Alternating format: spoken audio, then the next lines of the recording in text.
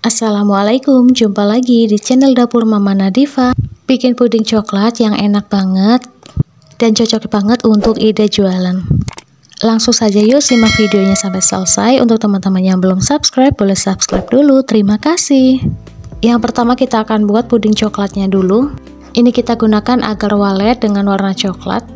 Sebanyak dua bungkus untuk masing-masing kemasan sebanyak 7 gram 250 gram gula pasir 2 sendok makan bubuk coklat. Agar lebih lembut kita tambahkan 1 sendok makan tepung maizena seperempat sendok teh garam halus. Ini kita aduk dulu hingga tercampur rata semuanya. 70 gram coklat batang atau DCC 10 sendok makan susu kental manis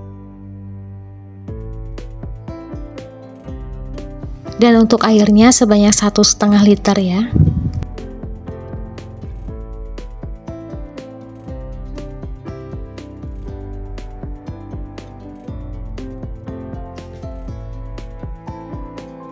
Selanjutnya kita aduk dulu agar tidak menggumpal ya.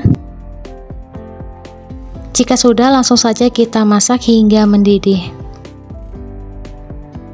jika sudah mendidih, ini kita matikan apinya dan terus kita aduk agar uap panasnya hilang. Selain itu untuk mengurangi gelembung-gelembungnya. Jika sudah tidak terlalu panas, ini langsung saja kita tuang ke dalam cup. Untuk cupnya saya menggunakan ukuran cup 65 ml. Jika sudah, ini kita tunggu hingga benar-benar set. Dan ini menghasilkan 37 cup. Selanjutnya kita akan buat flash susu, 120 gram gula pasir, 3 sendok makan tepung maizena. 2 sendok makan susu bubuk.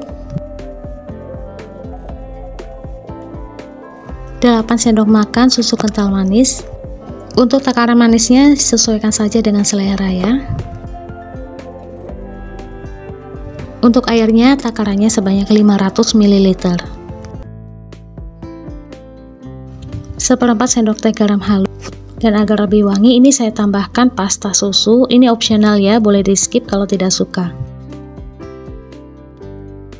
Selanjutnya tinggal kita masak hingga mendidih.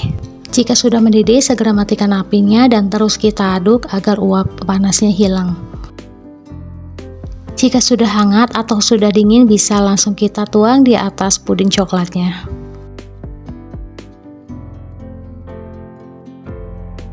dan ini flannya takarannya cukup banget ya untuk semuanya. Ini dia puding coklat flan susunya sudah jadi.